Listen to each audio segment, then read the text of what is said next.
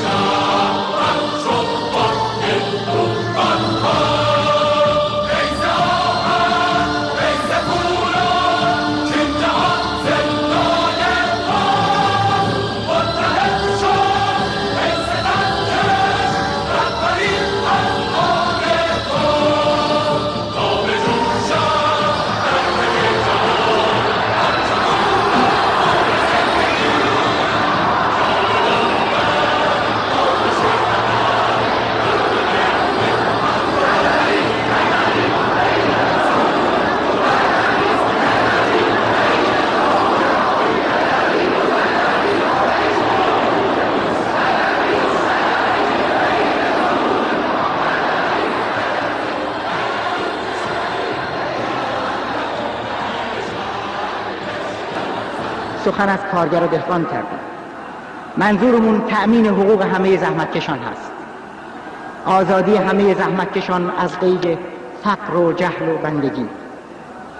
آزادی اونهایی که سازندگان باقی تاریخ هستند و قیام تمام انبیا و انقلابیون به خاطر نجات اونها بوده اساسا. از یوق ظلم و استثمار. اینجاست که قرآن مجده حاکمیت و پیروزی زحمتکشان رو میده. یعنی نیروهایی که به لحاظ طبقاتی و موقعیت اجتماعی پایدارترین، غنیترین، وسیعترین و وفادارترین پشتوانه همه انقلابات اصیل هستند.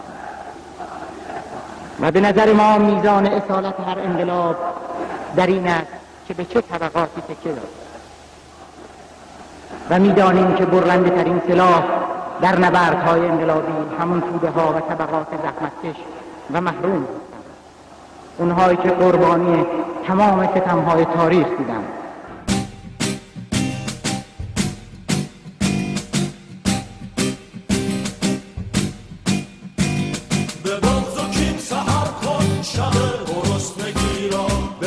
به خود بسوزان سکوت و بندگی